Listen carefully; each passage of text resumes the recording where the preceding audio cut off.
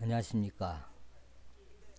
에, 프로그램을 설치하셨다니까 이제는 음, 기능을 익혀서 활활 나는 과정이 남아 있습니다.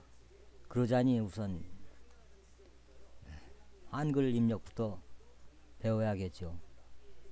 그게 가만히 생각해 보니까 제일 급한 것 같습니다. 뭘 쓰면서 연습을 해야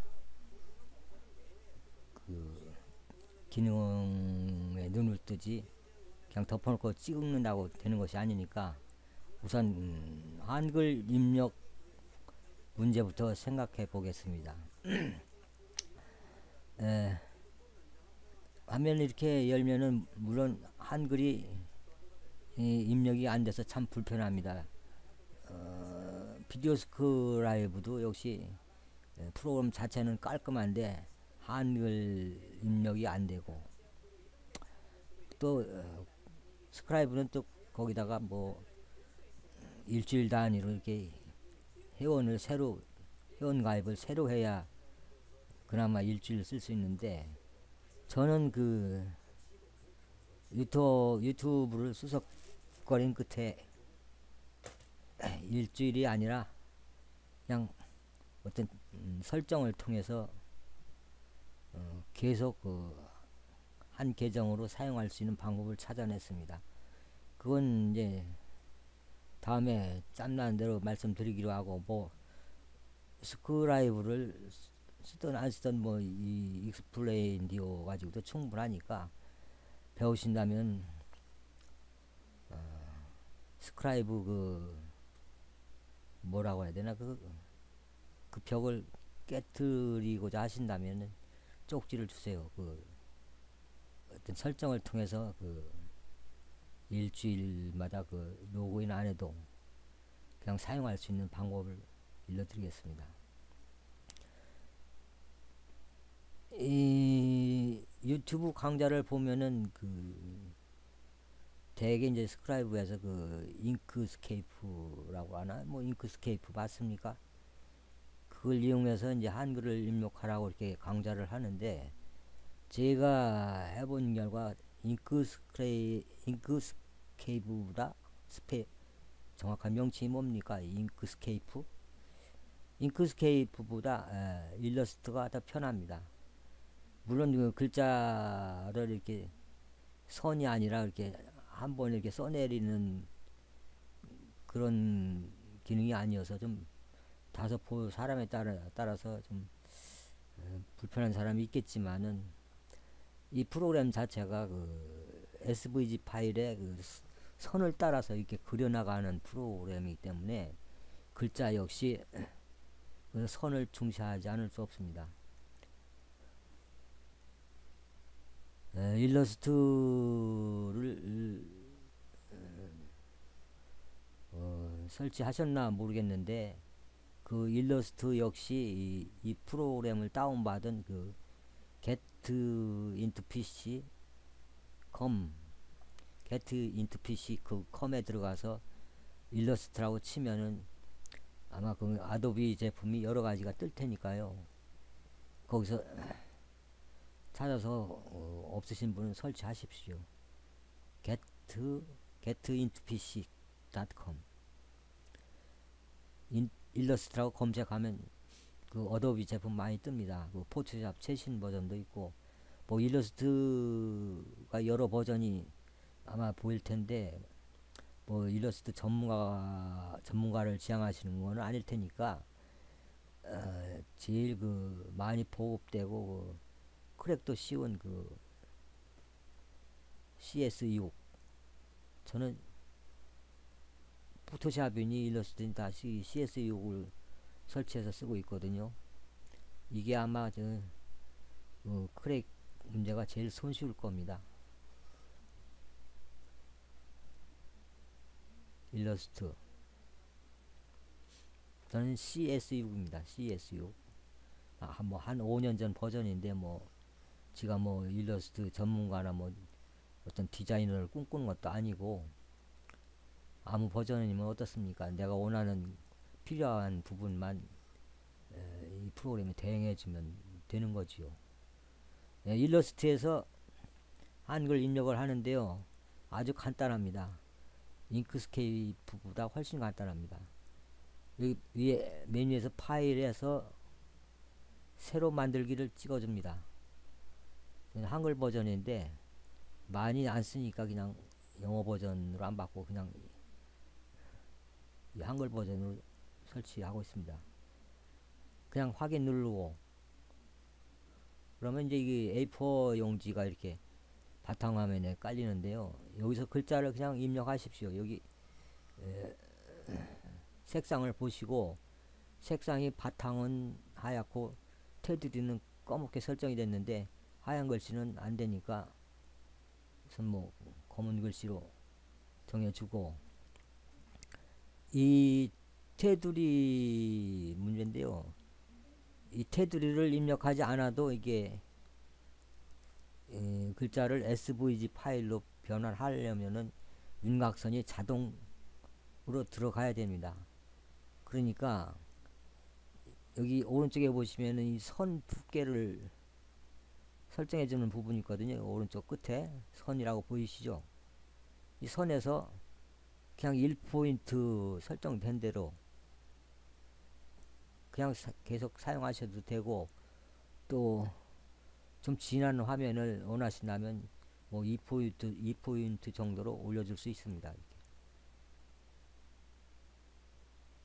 이렇게 2포인트 그냥 저는 1포인트를 하겠습니다. 까만 글씨에 까만 테두리가 들어가게끔 되어 있거든요.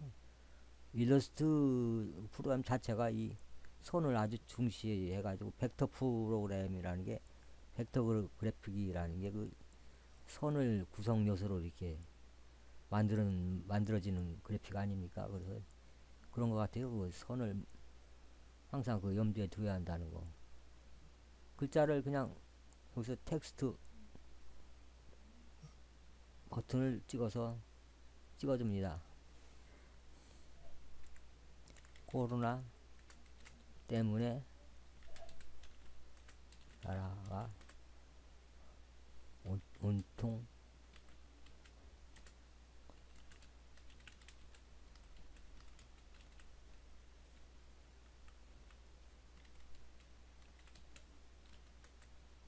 입니다.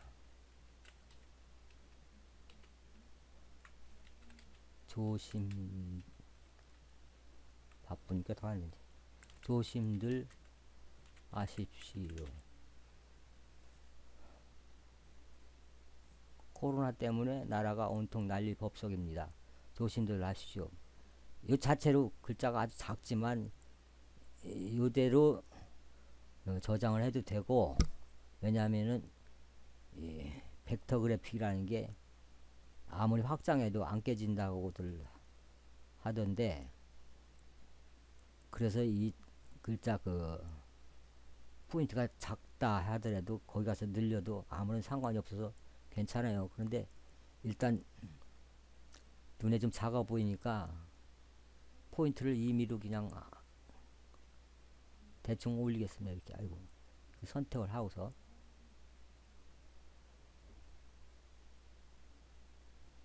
올리고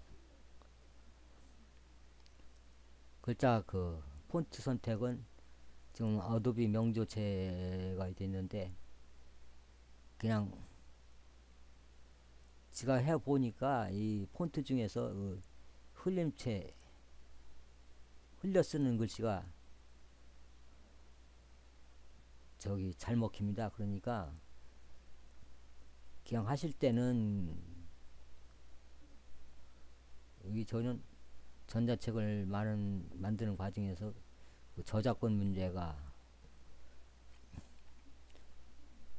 그 심각해 해가지고 그 폰트 그렇게 많이 깔지 않았는데 여기서 포천 막걸리채나 나눔 성글씨 뭐 나눔 명조체 나눔 고딕 이런 어떤 기관에서 명예를 걸고 그 보급한 폰트는 저작권에 그 상관이 없습니다. 상용도 가능하고 또 개인 뭐 개인용으로 얼마든지 쓸 수가 있고 상용을 해도 괜찮습니다. 그래서 이건 카페 24 폰트라든지 전라북도 도청에서 보급한 전라북도체 상상 토끼 명, 곧, 뭐, 이건 뭐, 프로그램의 자체 내에 들어있는 거니까, 나눔 송글씨, 이런 것들은 저작권과 상관없으니까 마음 놓고 써도 됩니다. 그래서 이 중에서 나눔 송글씨 본, 나눔 송글씨 펜 폰트 바꿔주겠습니다. 글자가 작지요? 작아도 그냥 바로 추가로 어떤 거 뭐 더 씌울 필요 없이 다른 이름 저장으로 들어갑니다. 그러면 여기 파일 형식을 AI로 되어 있는데 이거를 SVG로 바꿔줍니다. 이렇게 바꿔주고 파일 이름을 그냥 문장 첫머리가 코로나 때문에라고 시작하니까 그냥 그대로 쓰십시오. 그냥 찾기 쉽게 때문에 저장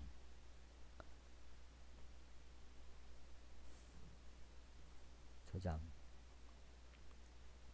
그러면 이 다음 창이 뜨는데요. 여기서 여러분들은 처음 작업하신다면 뭐 Adobe CEF나 SVG 이 둘 중에 하나가 뜰 겁니다. 그, 그 중에서 마지막에 윤곽선으로 변환 이것을 선택해 주십시오. 반드시 윤곽선으로 윤곽선으로 변환 이걸 체크해 줘야 됩니다.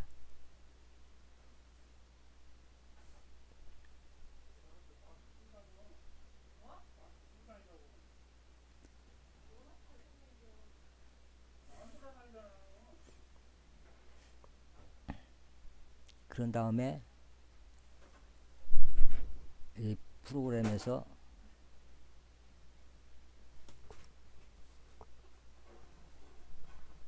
아이고 우리 집 컴퓨터가 역광이 되나 가지고 지금 햇빛이 너무 반사가 돼서 잘 안 보이는데 그냥 아무렇게나 프로젝트를 만들고 씬을 추가합니다. 그러신 다음에 이 텍스트로 불러오는 것이 아니라 에, add sketch image 아까 저장할 때 SVG로 저장했기 때문에 에스, add sketch image 이걸로 불러냅니다.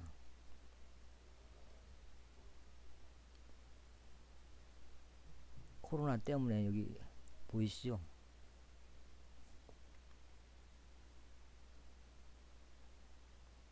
작게 입력이 됐는데 이건 뭐 키워도 안 깨진다고 말씀드렸어요.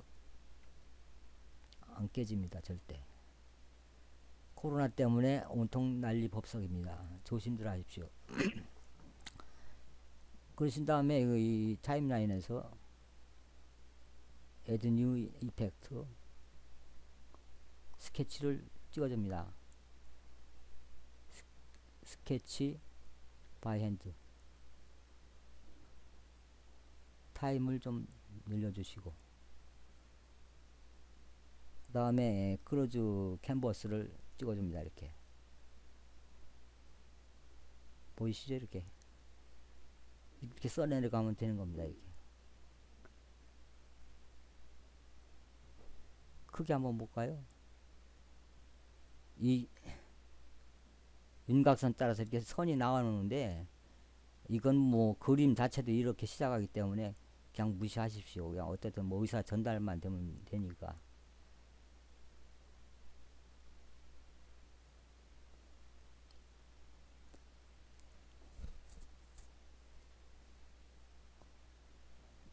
이렇게 하면 한글 입력도 무난히 음, 패스가 되는 겁니다. 다시 한번 해보겠습니다.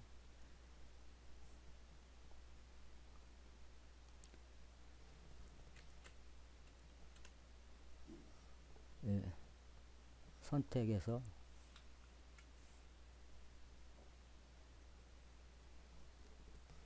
지우고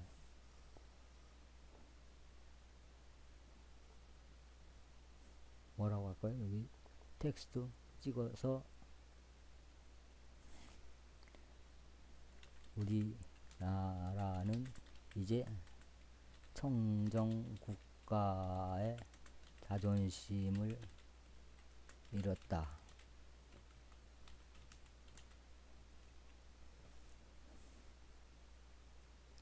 안 보이시죠? 할 수 없이 키- 크게 키우겠습니다. 이 포인트 크기하고는 상관없다는 거 기억해 두시고요.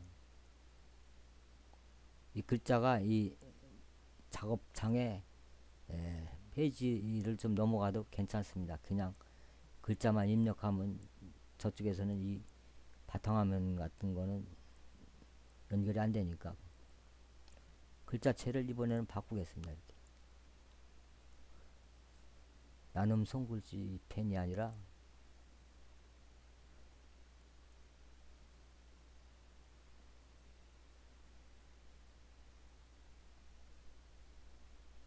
이 꽃솜체가 참 이쁜데 가끔가다 말썽을 피웁니다 이게 이 뭐 폰트가 말썽을 피우는 게 아니라 인디 이 Explaindio에서 호환이 잘 안 되는 거죠 이게 다른 겨울 눈꽃에 큰 글씨용으로 이렇게 한번 해볼까요?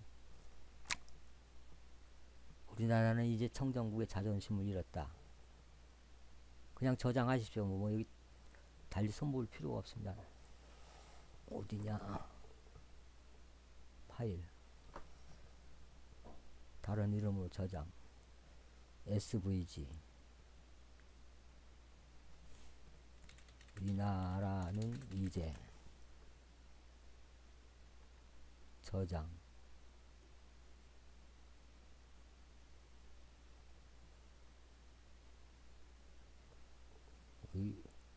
왜 안 돼?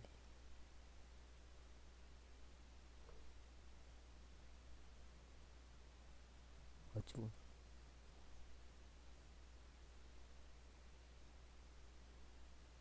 다시 한번 해보겠습니다. 이 글자가 넘어가서 그러나?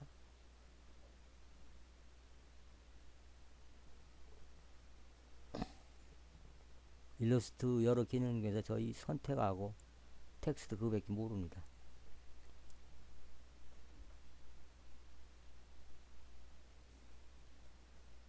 정정국의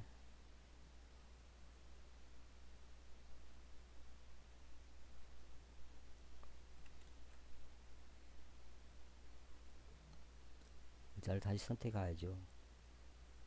여기서 엔터를 쳐서 줄을 바꾸겠습니다. 다른 이름으로 저장.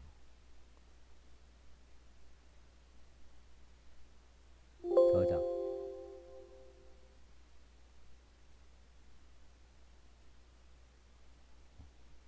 코로나 때문이 아니지. 이게 뭘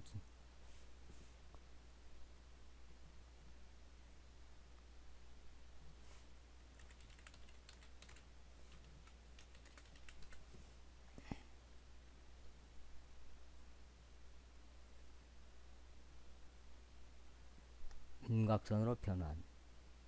확인. 그 다음에 프로그램에 와서 작업상으로 넘어갑니다.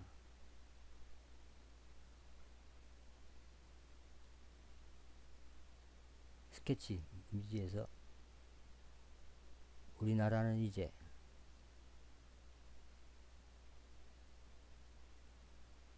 큰 글씨 보셨죠? 이렇게 그런 다음에 여기 파일 명칭에서는 이 한글을 받지 못하기 때문에 글자가 깨집니다. 그냥 사용하시는 분만 알고 계시면 돼요. 스케치.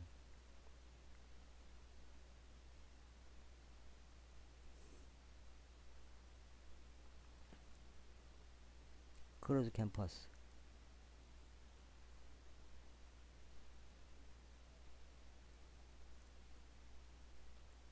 보셨죠? 이렇게 입력하면 됩니다. 여기다 이제 색깔 주면은 글자가 이쁘기도 하고 글씨체 이쁜 걸 써보십시오. 이렇게.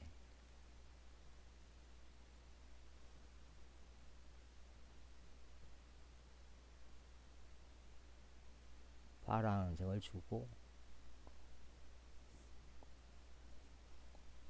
바탕색에다 테두리에다가 그냥 같이 파랑을 줄까요?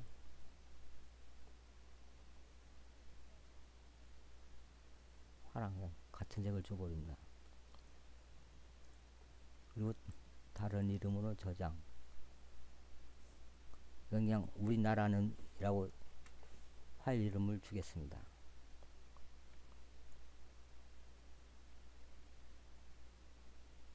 윤곽선으로 변환 확인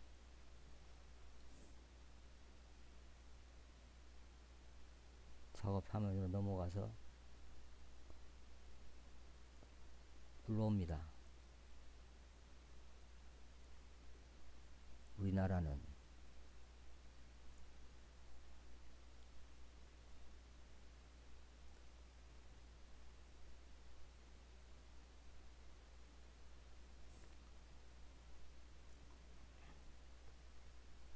두 타임라인에서 개치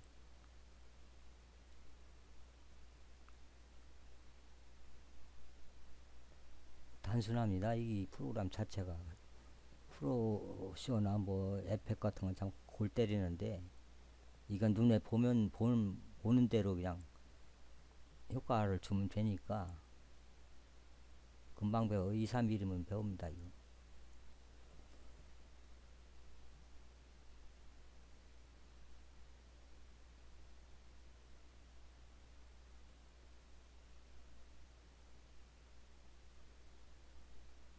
보셨죠? 이렇게 이렇게 나가는 겁니다. 시간이 21분 됐습니다. 문자 관계에서 이 정도만 설명해 드리고 다음에 말풍선과 이렇게 연계해서 어, 이 화면의 그 균형감을 줄 수 있는 글자 입력을 설명해 드렸습니다. 지금 날씨가 지금 컴퓨터에 그 역광이 새 들어 가지고 눈이 부셔서 지가 더 이상 할 수가 없습니다.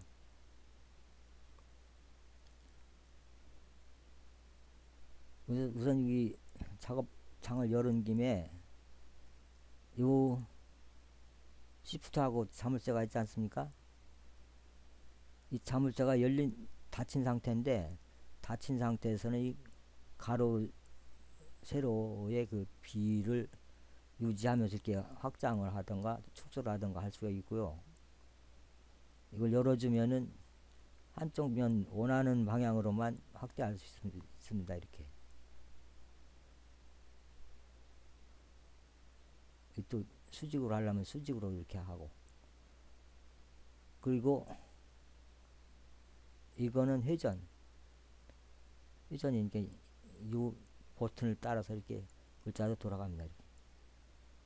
가끔은 저기 약간 틀어서 이렇게 배치할 때가 있으니까 그런데 쓰는 거라고 알아두시고 요 애드 애니메이션이라는 이 버튼은 특수 효과인데 다음에 또 설명해 드리겠습니다. 해보십시오. 이렇게 글자 입력은 이렇게 입력하는 거를 이렇게 요령은 그, 그거니까 해보시고 또 안 되면은 다음에 또 말씀드리겠습니다. 감사합니다.